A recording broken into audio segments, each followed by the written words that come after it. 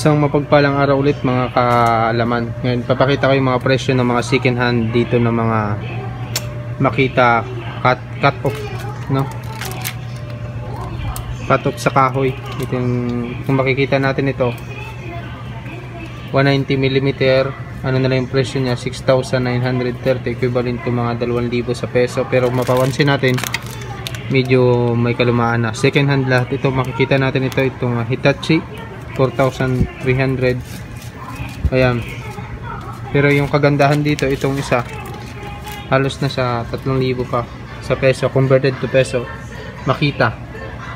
Kita natin yung quality no? Mukhang bagong bago talaga to suriin natin. Ayan siya.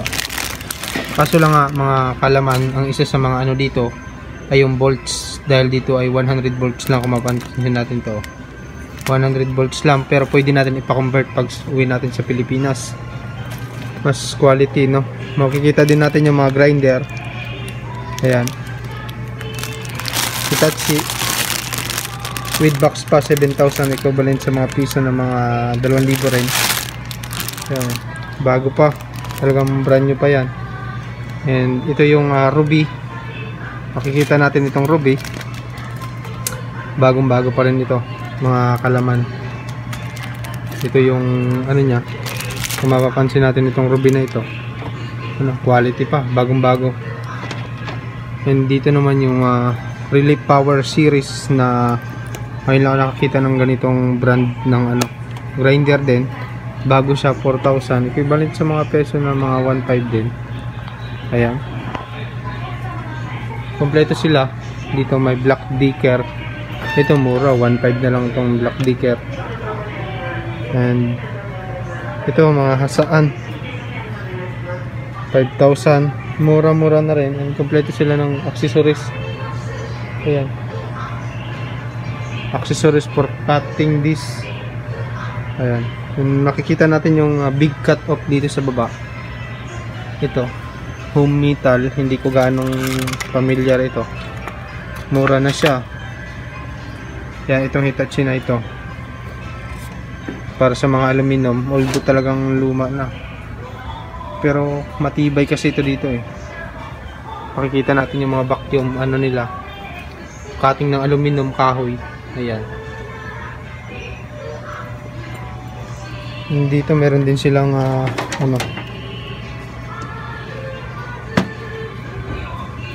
halos pare-parehas din yung mga ano nila ito mga planer. Ah ito mga sander. Ito mas malalaki itong sander oh. Philip yung brand niya. Yan. Kompleto sa dito eh. Yan oh. Katulad nito 1 to lang. Isang set na ng mga ano barena. Yan makita natin ito yung joint ano tatlo kulang ng isa 2.8 na lang. Flex gear. Mura na rin siya compare natin sa bumili tayo ng brand new. Yan. Mas mura na. Ito let's say ano mas mura na siya. Yan. Pero ito yung the best so mura na oh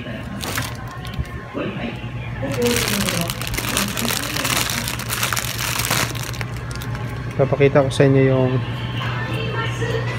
mga ano nila. Magagandahang yan. Original planer.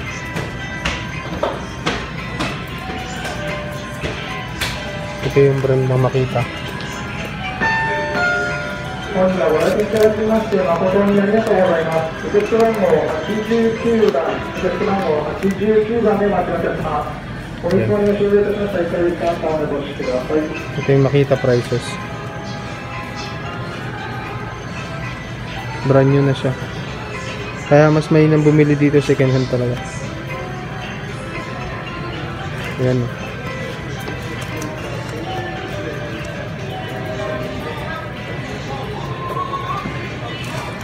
Yan. Kung mapapansin natin. Kompleto sila, mga bago pa. Mga generator. Ito makita oh.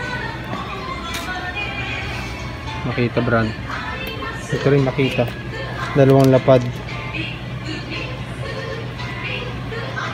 Meron ding ruby.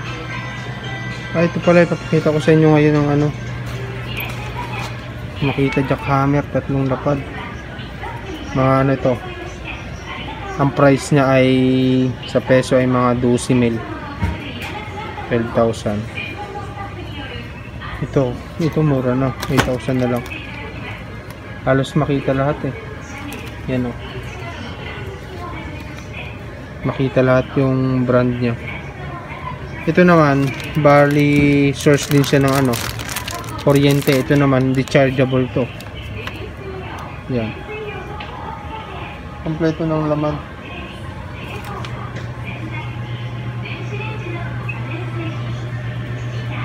Ito yung mga gamit nila. Oh. Mga bala. Mura na siya. 36.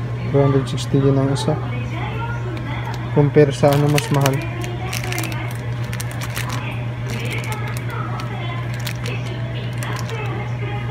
Yan.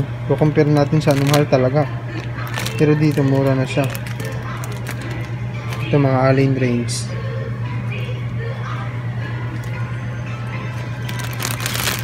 Ito ribbit. Ah, ayos tong ribbit oh. 1.6 lang.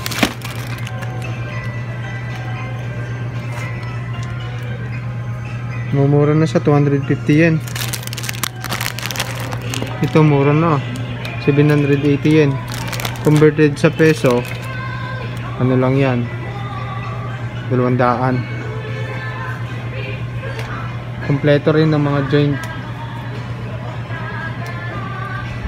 Yan. Ito Hitachi. Grilled it. Kompleto lahat talaga siya. Ito, mas mura na ito oh. 900. Mga tools. Nakakakompleto ka talaga dito ng tools, mga plies.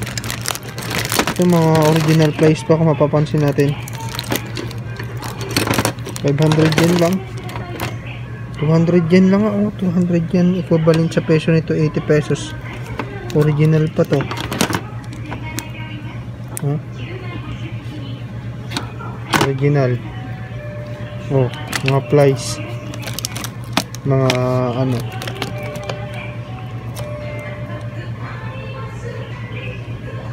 Di ba mas mura na siya? Siyempre, kaso lang at Japan. Siyempre kung ipapadala sa atin, pag mga balikbayan, oh, balikbayan box pwede. Ngayon ay pasyal ko na naman kayo sa second hand shop dito sa Japan. Siyempre kung uh, nagustuhan mo yung channel ko, ano, yung pagbablog natin ngayon.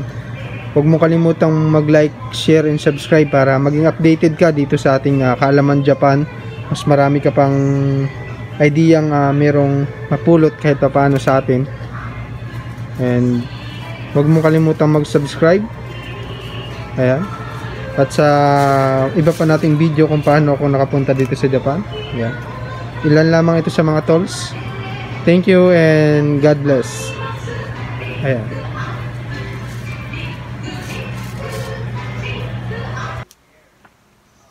Shoutout nga po pala kay Eds 737. Maraming salamat sa iyong pag-comment sa ating power tools.